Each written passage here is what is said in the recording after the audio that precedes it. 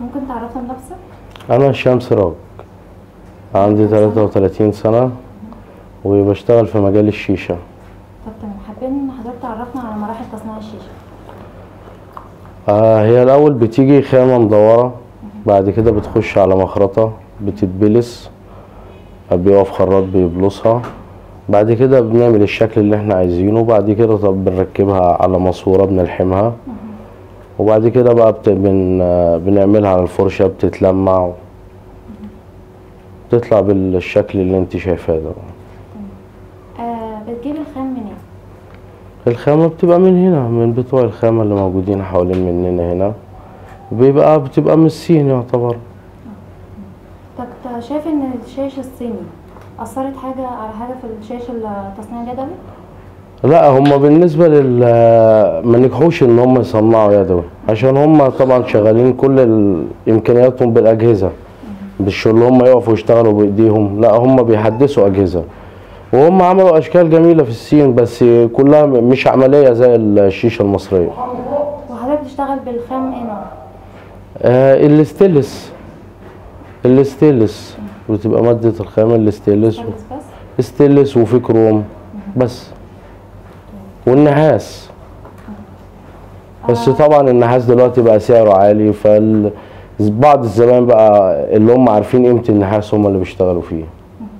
وشاش الصيني متصنع من آه في إزاز عندهم وفي بيستخدموا هم خامات تانية. آه هنا بيطلب منك آه شاش آه إنك تصدرها بره في بلاد بره آه بيتلف طبعا. إيه أكتر الدول اللي بتاخد منك؟ آه والله يعني مش مش دولة محددة. معظمهم. هم- يعني مثلا الأردن الكويت آه أمريكا. كده.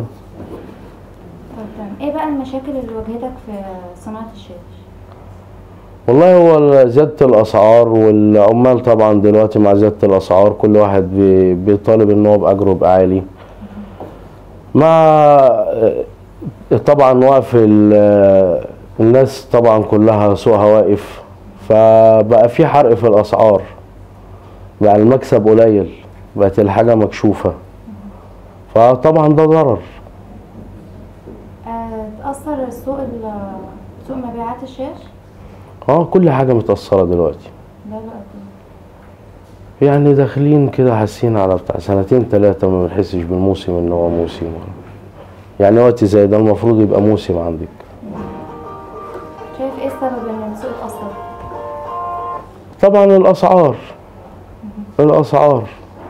مع زيادة آه مع زيادة طبعا ال- الورش آه، اللي هي تحت بير السلم طبعا بتأثر.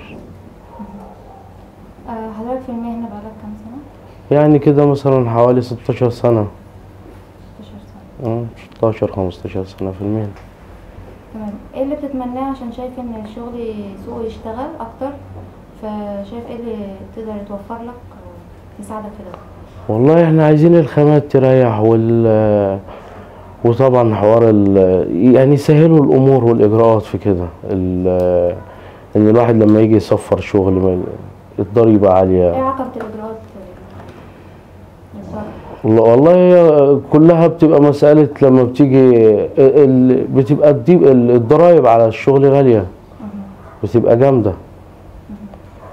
يعني انت مكلف شغل مثلا مئة ألف جنيه ممكن تروح تدفع عليه برضك وانت مدخله جمارك آه، برضك آه، الجمارك ممكن تدفع عليها ميتين ألف. لو انت مكلفها حاجة مية بتتكلف ميتين دي مشكلة آه الجمارك آه.